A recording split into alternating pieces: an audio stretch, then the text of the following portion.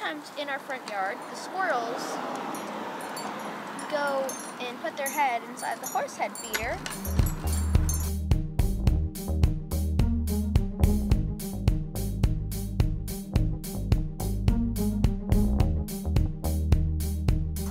So that they can get food. That's not food, that's just grass. But sometimes we've seen the fox inside the of fox the front yard. very, very sneaky, and it comes quietly, quietly around. And quiet, no one can hear it. Sneaky, sneaky. Ah! Oh no! Horse head fell off. Oh no! That was one rabid squirrel. That was. Well, I guess it didn't want to be in. It, Okay. well, to be truthfully, um, the we've never actually had the fox come up towards the squirrel and actually bite it. We've just seen the fox and we've obviously seen the squirrels inside of our trusty horse head here. Which now I need to fix. And my mom, if you haven't seen her, she's over here.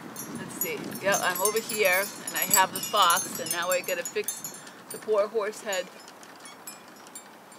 Yep. Yeah. What if we put the fox in there? And the squirrel come after the fox. Yeah, that that no. Maybe that- there's grapes inside there. What do you think? I'm just gonna go now. Adios now. Adios, adios. Mommy, finish this out. Okay. My poor horse head. Well. So what do you think? Do you think the fox might get our squirrel when he has his head in the horse head? Let us know in the comments below. And don't forget to subscribe and to like this video. And thanks for watching. This is crazy. He's even becoming uh, something of a coronavirus crush. Yes, people online are falling in love with him because of coronavirus and how he's handling it. I'm not gonna lie, those people include me. My Tinder profile now lists me as a homosexual. And the thing that I've been enjoying about Cuomo is that he's talking. Hi, my name is Bill and I'm a squirrel, also known as Bill the Squirrel. Uh, and today I'm going to be telling you what a day in the life of a squirrel is.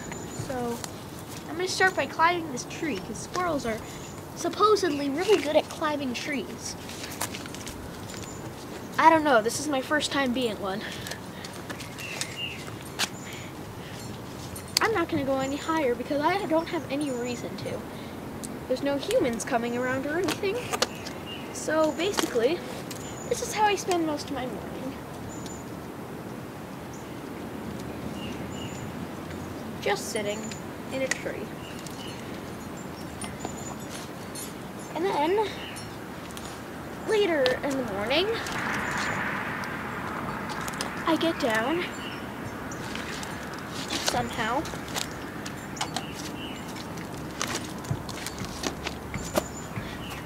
And I go to where the horse head that has been filled right here, and I eat from it. I'm not going to eat from it now, because now it's empty. Sad. Squirrels don't do that in their day either. Then through the rest of the day, I run around like a crazy person.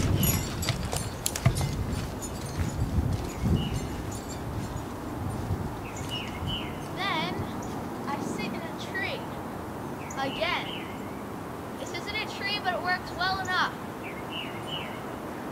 After a while sitting in a tree, I look for some things I can bury. No acorns yet, unfortunately. So I don't have any acorns that I can bury. I'll come back and see if there's any food left in the horse head feeder over here that we've got.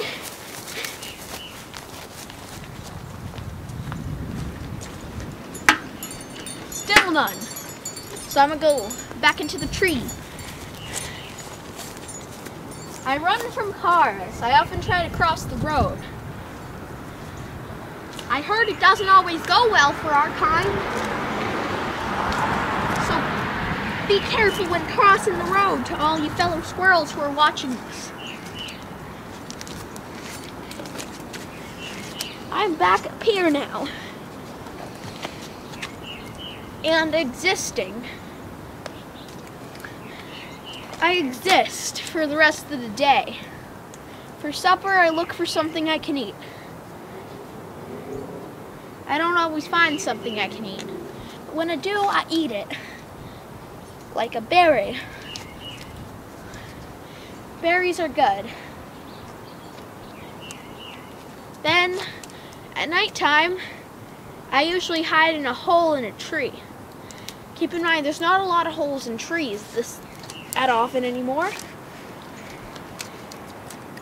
Then I sit in there and wait until morning. Then I go and sit in a tree and wait for the horse head to be filled again. So yeah, that's just, just the life of a squirrel pretty much. Bye. Bye.